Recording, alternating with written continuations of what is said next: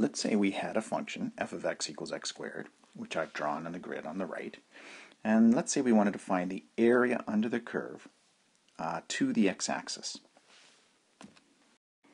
And we wanted to do this over the interval 0 to 1. One way to do this is to break the interval up into uh, equal subintervals.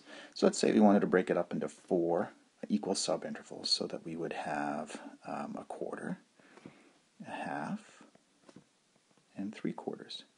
So we've broken up the interval from 0 to 1 into four equal subintervals. In this example, we're going to use the left-hand endpoint. So what we do is we find the left-hand endpoints on the curve for each of the intervals, and then make a series of rectangles with the adjacent subintervals.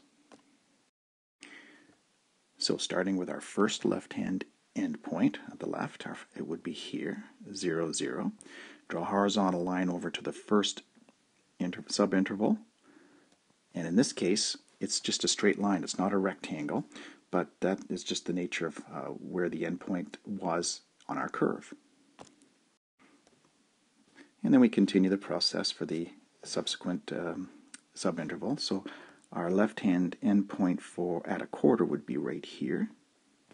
Draw horizontal line over to the adjacent endpoint and form a rectangle. Continuing, continuing with well, one half, our left-hand endpoint would be right there. Draw a horizontal line over to the adjacent subinterval and form a rectangle. And continuing at 3 quarters, left-hand endpoint would be here. Horizontal line over to the adjacent subinterval, form a rectangle. And thus our approximation of the area under the curve would represent the addition of all the areas of these rectangles. we'll call the first rectangle area A1, second rectangle's area A2, third rectangle's area A3, and A4 for the fourth rectangle's area. And so the area total would be the addition of all the areas of these rectangles.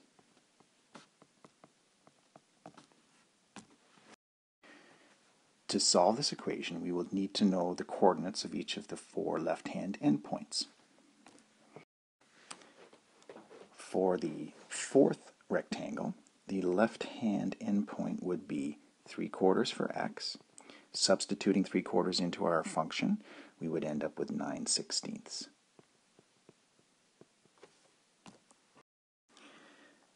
Similarly, for the third endpoint for rectangle 3, we would have x being a half.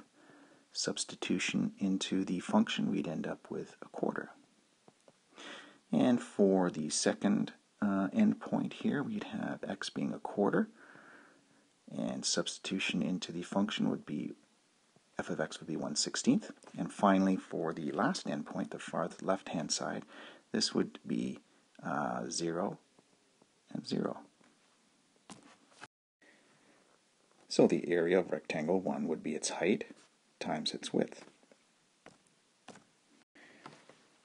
Now in this case the height is 0, so it would be 0 times 1 quarter.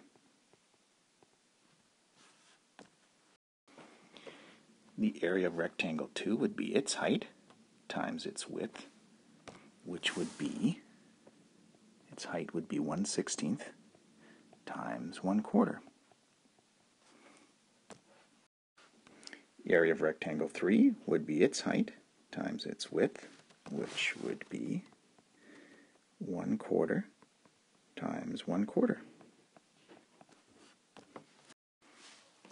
And finally, the area of the fourth rectangle would be its height times its width, or 9 sixteenths times 1 quarter.